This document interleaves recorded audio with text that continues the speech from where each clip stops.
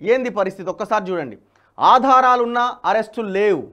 ఆధారాలు ఉన్నా అరెస్టులు లేవు. ఆధారాలు కాదు కదా అసలు ఏమీ లేకపోయినా అరెస్టులు ఉంటాయి కుట్ర కేసులు ఉంటాయి ఏమైనా ఉంటాయి. ఈ ఈ సచిన శవాన్ని పక్కన పెట్టి ఇగో వీడియో చంపిండని కూడా క్రియేట్ చేస్తారు వీళ్ళు. అంత పెద్ద మేధావులు. వీళ్ళకి కావాలనుకుంటే ఒకటి లేదనుకుంటే ఇంకొకటి. ఇగో ఇది ఆధారాలు ఉన్న అరెస్టులు మాత్రం లేవు. తల్లి కొడుకు ఆత్మహత్యకు కారణమైన వాళ్ళపై చర్యలు తీసుకోవాలంటూ మెదక్ జిల్లా రామాయంపేటలో రాస్తారోకో చేస్తున్న స్థానికులు. అంటే చట్టం చట్టంని చట్టాన్ని అమలు చేయండి అని కూడా ప్రజలు రోడ్ల మీదకి వచ్చి ఆందోళన చేయాలి. పోలీసులకు బాధ్యత లేదా? చట్టాన్ని అమలు చేసే బాధ్యత. చెయ్యరు ఎందుకంటే కేసీఆర్కి కేసీఆర్ టీఆర్ఎస్ పార్టీకి చట్టం చుట్టం కాబట్టి చెయ్యరు ఖమ్మం రామాయంపేట కేసుల్లో పోలీసుల సైలెంట్. టీఆర్ఎస్ లీడర్ల వల్లే చనిపోతున్నామని బాధితులు చెప్పినా నో యాక్షన్. తన చావుకు మంత్రి అజయ్ కారణమని సాయి గణేష్ చెప్పినా ఎఫ్ఐఆర్ నమోదు చేయలే.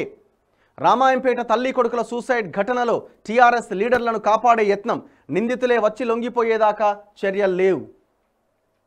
రాష్ట్ర వ్యాప్తంగా సంచలనం సృష్టించిన తల్లి కొడుకులు గంగం పద్మ సంతోష్ బీజేపీ కార్యకర్త సామినేని సాయి గణేష్ సూసైడ్ కేసుల్లో పోలీసులు వ్యవహరించిన తీరుపైన తీవ్ర విమర్శలు వస్తున్నాయి. తమ మృతికి టీఆర్ఎస్ ప్రజాప్రతినిధుల వేధింపులే కారణమని చనిపోయే ముందు తీసిన వీడియోల్లో బాధితులు స్పష్టంగా చెప్పినా ఎలాంటి యాక్షన్ తీసుకోలేదు. బాధితుల బంధువులు ఫిర్యాదు చేసినా పట్టించుకోలేదు. ప్రతిపక్షాల విషయంలో కంప్లైంట్ రావడమే ఆలస్యం అన్నట్లు అరెస్టులతో చెలరేగిపోయే పోలీసులు ఇప్పుడు అన్ని ఆధారాలు ఉన్నప్పటికీ టీఆర్ అధికార పార్టీ నేతలను అరెస్ట్ చేయకపోవడం చర్చనీయాంశంగా మారింది. ప్రభుత్వ పెద్దల నుంచి ఒత్తిడి ఉన్నందువల్లే నిందితులపైన చర్యలకు పోలీసులు వెనకాడుతున్నారనే ఆరోపణలు ఉన్నాయి. ఇవాళ బీజేపీ నిరసనలు. రాష్ట్ర వ్యాప్తంగా నల్ల జెండాలతో ర్యాలీలు గవర్నర్ను కలవబోతున్న పార్టీ రాష్ట్ర నేతలు. సాయి గణేష్ ఫ్యామిలీకి అమిత్ షా ఫోన్. అన్ని విధాలుగా అండగా ఉంటామని హామీ ధైర్యంగా ఉండాలంటూ సాయి అమ్మమ్మ చెల్లెలికి భరోసా సిబిఐ ఎంక్వైరీ విషయాన్ని పరిశీలిస్తామని వెల్లడి. ప్రజలారా ఒక్కసారి ఆలోచించండి. పోలీసులు ఎవరి వైపు ఉన్నారు? ఎవరి వైపు నిలబడి నిలబడి పోలీసులు మాట్లాడుతున్నారో ఒక్కసారి మనం ఆలోచించాలి. రెండు రెండు రకాలుగా ఉన్నది ఇక్కడ పరిస్థితి. ఇగో ఇటువైపు మనం కొన్ని కేసులు ప్రధానంగా చూసుకుంటే శ్రీనివాస్ గౌడ్ కేసు ఒకటి. శ్రీనివాస్ గౌడ్ కేసు ఒకటి శ్రీనివాస్ గౌడ్ కుట్ర కేసు ఒకటి షకీల్ కారు ప్రమాదం తన కొడుకు కారు ప్రమాదంలో ఒక రెండు నెలల బాబును చంపితే ఇగో ఇది ఇది- ఇదొకటి. ఇప్పుడు ఖమ్మంలో ఒకటి రామాయంపేటలో ఒకటి.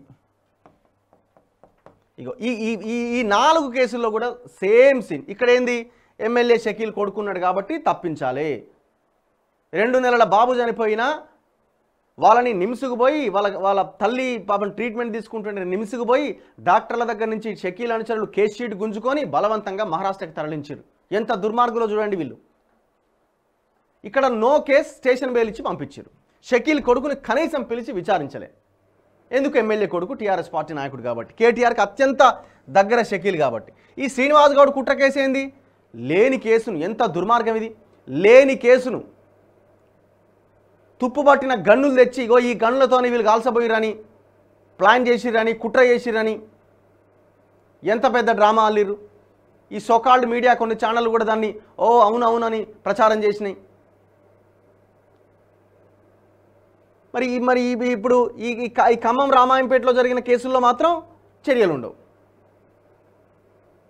మీరు మంత్రిని చంపబోయారు అని కుట్ర కేసు పెట్టి వా ఎఫిషియెంట్ ఆఫీసర్లు ప్రెస్ మీట్లు పెట్టి తుప్పుపట్టిన గన్నులు చూపించి. అంటే ఈ పోలీసులు ఎవరి కోసం పనిచేస్తున్నారో మనం ఒకసారి ఆలోచించాలి. పోలీస్ స్టేషన్లు అన్నీ కూడా టీఆర్ఎస్ పార్టీ కార్యాలయాలుగా మారిపోయినాయి.